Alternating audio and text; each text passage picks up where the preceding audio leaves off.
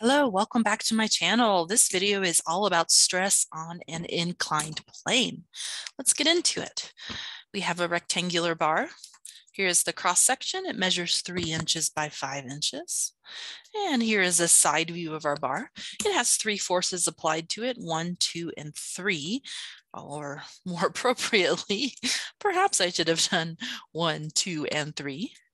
We have a, a, uh, cut plane BB that's been cut already. So our, our free body is not in equilibrium until we uh, do our equations of equilibrium and determine the force or forces that live in that plane.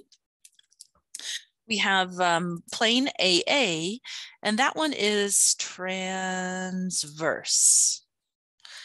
Plane AA is transverse because it is perpendicular to the longitudinal axis. Okay, so it's perpendicular to the longitudinal axis. Um, B is not perpendicular to the longitudinal axis, right? So we have some other angle there. And so we would say that plane BB is inclined. Inclined, so a little bit of terminology here. Uh, let's start by putting this in equilibrium. I'm going to get my ruler tool out, line it up with this weird geometry. And um, this one you can probably do in your head, my hope is. So in the positive x direction, I have a three kip force and a two kip force. So that sums to five. I've got one kip force in the negative x direction. So five minus one is four. I need four kips of tension at that plane in order to put my body in static equilibrium.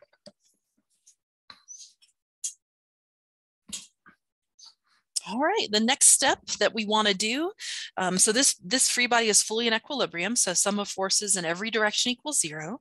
That could be x, that could be y, it could be the x prime and y prime axes we're about to set up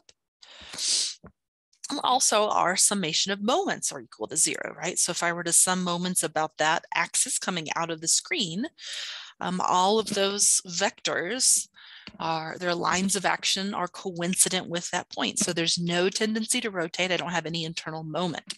Okay, so even though this is a simple problem, just kind of reinforcing that your worst case scenario is that you have six unknowns at the cut plane. Here, five of those happen to be zero. There's only one that is non-zero that's left. Okay, let us begin to construct axes for stress at an inclined plane. And the convention that we will use, and this is a sign convention that is not required for success when you're using manual methods, but it will be required for success when you get to using equations for some of these solutions. Here's how it works. I put a dot at the centroid of the cut plane. I will define my positive x prime axis as the outward normal to the cut plane. Okay, and all of that nuance is important. I will define my x prime axis as the outward normal to the cut plane. All right, outward means pointing away from the body. That makes sense.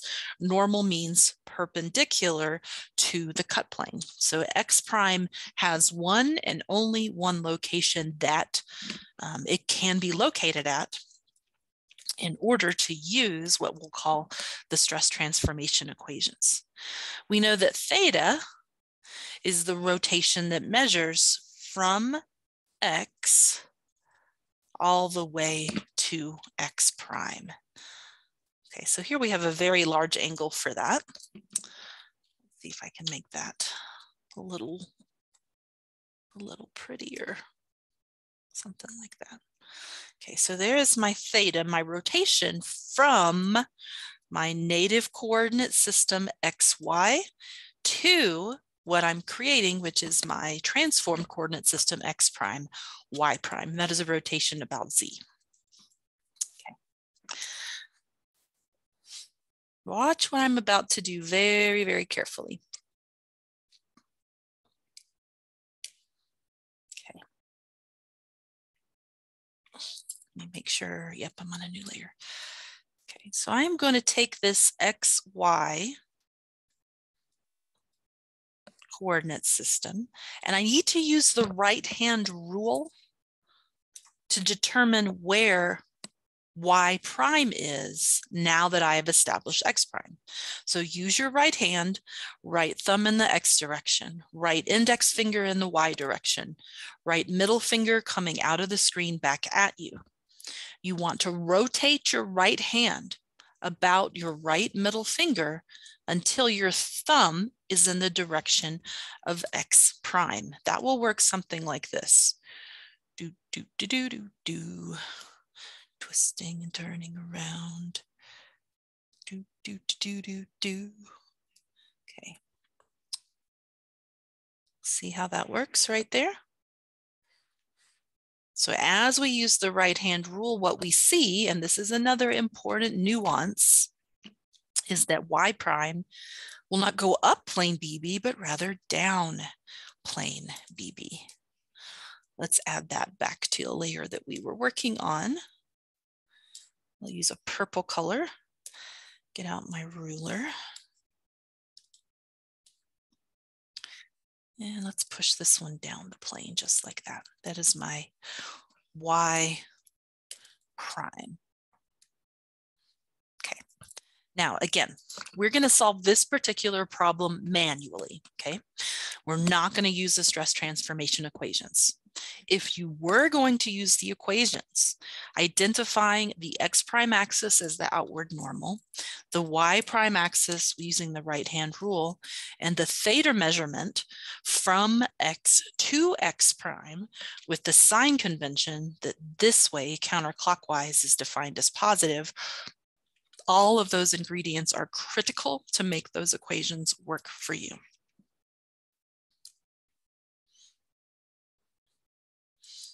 I'll just turn down the volume on that one a little bit, add another layer.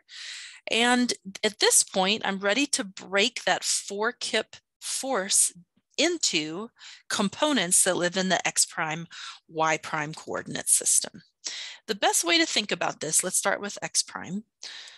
The way that I have had the most success in doing this and teaching it over the years is that we want to offset x prime parallel such that it lines up with this end of the vector. In this case, since our vector is a tensile force, um, it's going to line up with the arrow head, the vector head. If it was a compressive force, it would line up with the vector tail. Okay, do the same thing. So our second construction line here so weird. I don't know why that's not snapping back to, I'm gonna open it and close it. Okay, weird. All right, so I wanna offset from Y prime, right over here, and finish that bounding box. So I'm looking at the X prime axis, the Y prime axis, these two other construction lines that I've dashed in, and I want to resolve or break, I'm sorry, I want to break that four kip vector into its two components. There is a horizontal component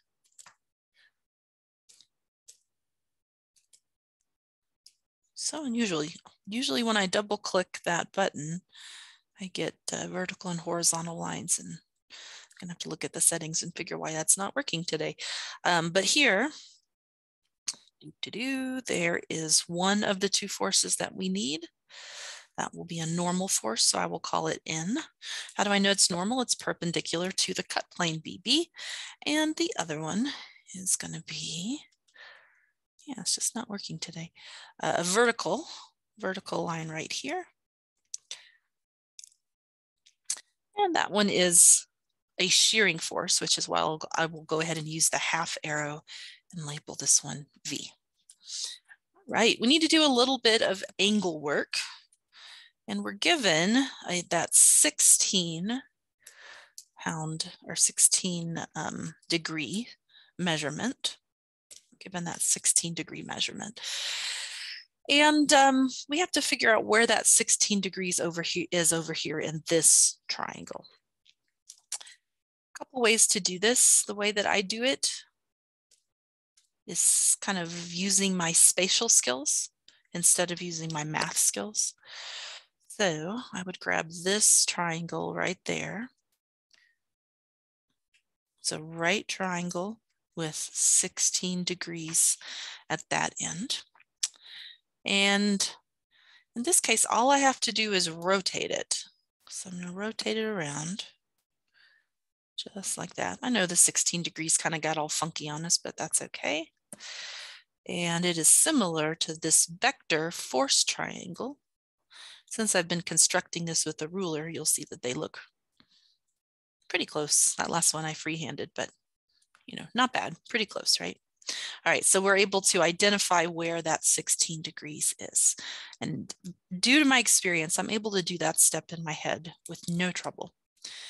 Um, if you have trouble doing that, your other techniques, if you're having trouble with just kind of doing the brute force spatialization, um, spatial force there, is just to go back to what you learned in geometry a long time ago. So find this 90 degree angle. Okay, deduct the 16, and so this will be 90 um, minus 16. Okay, um, figure out what this angle is there by constructing that particular geometry. Use complementary and supplementary angles to cross over in from one coordinate system to the other, and you'll get the same result. It just takes a little bit longer. So as you're able to do it more organically and naturally and intuitively, I would encourage you to work towards that goal. Okay, we have our 16 degrees there. And so what I'd like to do is now um, express N and V in terms of my internal force tension of four kips and this angular measurement of 16 degrees. Um, N is adjacent to that angle in the right triangle, so I'll use the cosine identity. So I could write four kips times cosine 16 degrees. V is equal to four kips sine 16 degrees right, so a lot of work graphically, but I think it's good work to do definitely while I'm teaching and definitely while you're learning to go to the rigor of you know constructing this stuff geometrically. And again as you become more sophisticated you can simplify your process skip some steps but good things to do while you're learning all right, so we've got our forces there and we are ready to kind of answer the questions posed. So it says, what stresses lie in plane AA and point A? How about BB and point B? All right, well, let's go to plane. Um, let's do AA first. I'm gonna make my screen a little bigger, height. So I have a little more real estate to draw on. And I'm going to get this tool. I need to cut through AA. Actually, don't need that part. Let's see what I can grab here. I'll grab my axes. So Y, let's use our imaginary scissors, cut through AA. I'll keep the x-axis, I'll keep the force, get the dimension out of there. Okay, let's copy merge that, edit, paste and move this down below.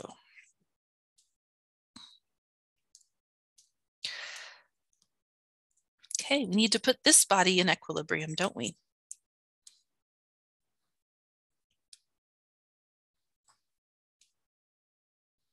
I'm going to do a summation of forces in the x direction equals zero. And I see those five kips of equal and opposite tension here on the cut plane. Do I have any shearing force at the cut plane? No. So my shearing force is zero. My normal force is five kips. It is a tensile force. So here are the equations that I could use to solve this.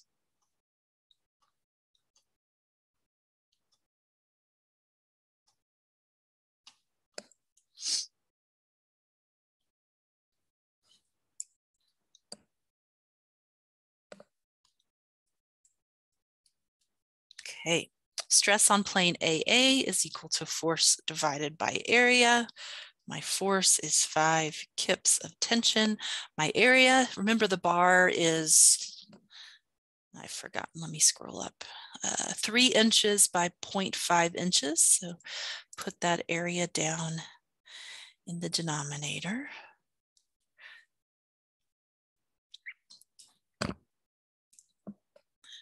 And you'll get a value of 33.3 bar KSI of tension. And if we want to illustrate that on A, let's see, I'll go ahead and pull it out because I can with the magic of Autodesk Sketchbook in my tablet. So I'll do another copy merged, edit, paste. Let's pull that stress out here. Okay, it's a little clunky, but good enough for our purposes. You're going to want to put axes on it. So match the X's and Y from up above. And we just need to show a tensile stress in the X direction. This is stress at a point. Stress at a point is a different idea than stress at a plane. When you're dealing with the plane, you're talking about a stress distribution. And you're talking about a point, you're talking about a value of stress. Okay, so we've got that nailed down. This one looks pretty good. Let's tackle the other one. So let's figure out what stresses are happening at plane BB.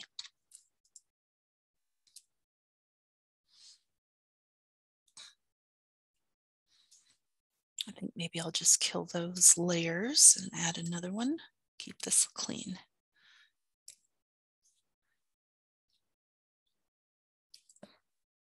Okay, great.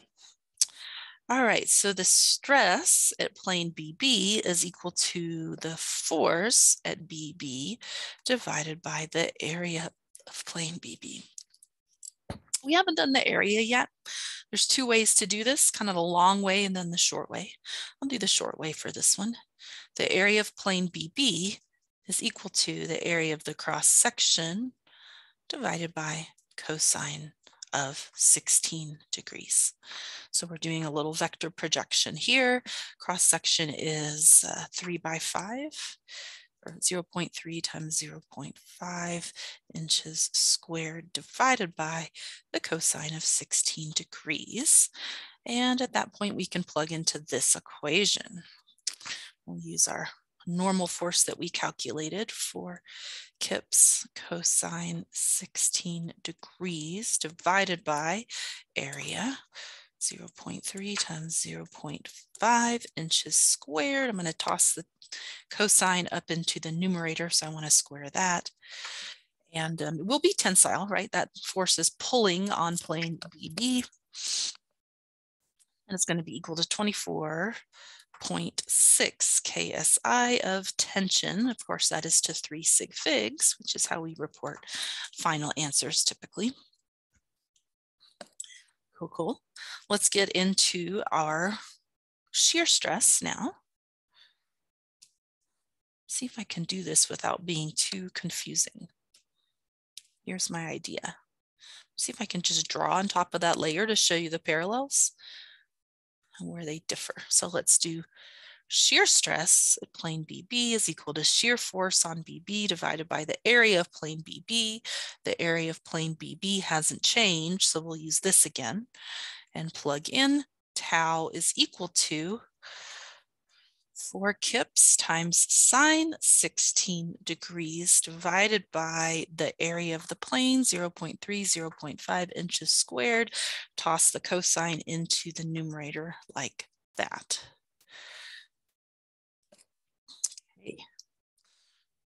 Multiply all of that out and you'll get a value of four sine 16. Okay, so that to three sig figs will be 7.07 KSI. And it is typical for shear stresses not to report a sign. They are reported as magnitude if you're just calculating a number, um, but we like to illustrate them on a stress element such as point B here. That's going to be the last part of this problem. So I'll put both of these layers on, but kind of subdue them into the background And here's what I would like to do is illustrate these stresses on stress element B. So I'll do edit, edit, copy merged, edit paste, pull it over, zoom into it. We need our coordinate system. Clean it up just a little bit.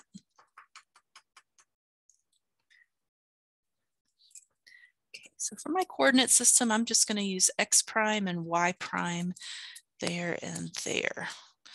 No need to reinvent the wheel here as long as you're communicating a coordinate system. You do have some options in how to write that. Of course, the simplest way to communicate it and the most straightforward is to copy and use the same orientation as your other picture.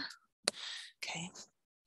Now, if you will, if you wanted to turn the whole thing around so it kind of looked more like X and Y like this, you could do that, but you may mislead your audience. You may want to make a big note to be like, note, I rotated the coordinate system. It doesn't match the picture above, just to alert them to what you've done. So mathematically it would work, but in terms of communicating your work clearly, 100% of your audience is not going to catch what you did. All right, let's do our normal stress first. That was the pink one. And we came up with 24.6 KSI of tension in the X prime direction. So we'll just add that to our stress element, 24.6 KSI. And here we don't need to put a positive sign or we don't need to put the T in parentheses for tension because the arrows communicate that for us very effectively. So that looks fantastic. I'll back, go back to my layers. I'm gonna kill that normal stress calculation, bring the shear stress one back. Okay, now we've got that one in our little party. And our shear stresses have a value of 7.07. And the direction, we just wanna match that force. So do you see how this shear force is happening at the left side of point B? We just copy that direction down below. Once you have one shear stress, you can figure out the hidden three. So there's one on the top going that way. There's one Okay, one going down on the negative x prime face and one going in the negative x prime direction on the positive y prime face. Watch the coordinate system as I talk through all those signs and we label, move that to the side actually boop, we label this 7.07 KSI. All right, turn this layer back off. Are we done with this? Are we done with this? Well, if you are in my class and not visiting from a random corner of the internet, you'd probably be inclined to stop here, and that's okay okay, because that's where we're at. What we didn't do on this problem is also cut this inclined plane. Put another layer here. Let's see if I can make this clear. We didn't cut this one.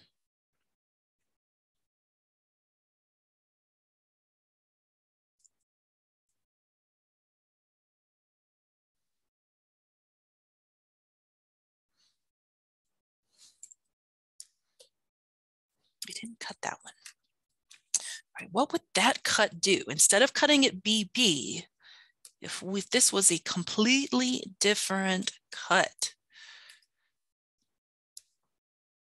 So instead, I gave you what I will call CC.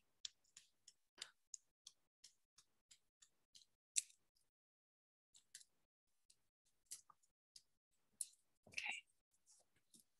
So we cut it CC. Let's see what I can simplify for us here. Let's get this and that out of the way.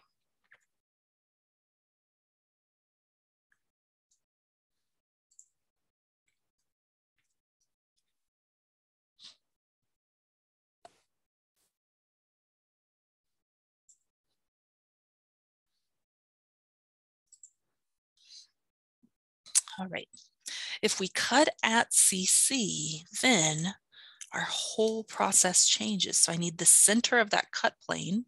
It's right there. I need to put the body in equilibrium. So I'm still going to have a force there. Then I need to resolve it into its components that are normal and shearing to that particular cut plane. There's the bounding box right there. Okay, so I do, I would not expect any student that's currently enrolled in my class to make that intellectual leap without watching this video. If you want to tackle it, go for it. Okay, but for now, let's just clarify it like this. Is there a normal stress in this direction? Yeah, there is. We'll call it sigma y prime does exist.